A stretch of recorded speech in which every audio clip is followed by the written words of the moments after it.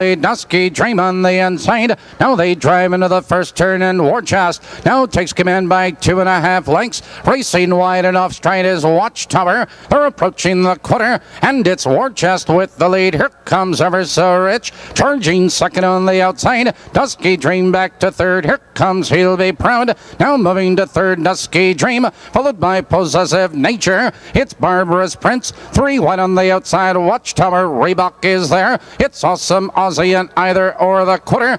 29 and 2 the quarter. And it's ever so rich. Your leader by two lengths. It's War Chest. In second, he'll be proud. Edging third on the outside. Followed by Dusky Dream, Barbarous Prince. It's Reebok on the outside. Possessive Nature either or. Awesome Aussie and Watchtower. Now they're moving for the half and ever so rich. Maintains a lead a length and a quarter. It's He'll Be Proud on the outside. Second, War Chest in third. The field's halfway home. 59 and 4 into the clubhouse turn. And ever so rich maintains a lead. It's He'll Be Proud. Charging second on the outside. It's Warchest back to third. Barbarous Prince now follows cover in fourth. And Dusky Dream. They curve into the backstretch heading for the final quarter. And ever so rich is on the inside, but He'll Be Proud. Moves on him on the outside and second. Warchest right there in third. Followed now by Dusky Dream and Barbarous Prince. They're moving by the three quarter mile mark. And ever so rich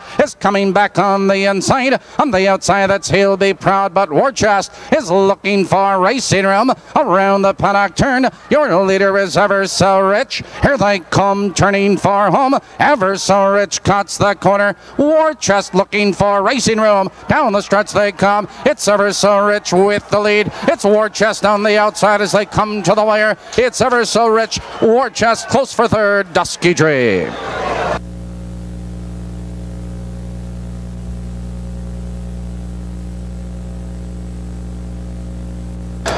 In the fifth race, number 1A, Ever So Rich was first. Number three, Warchest was second.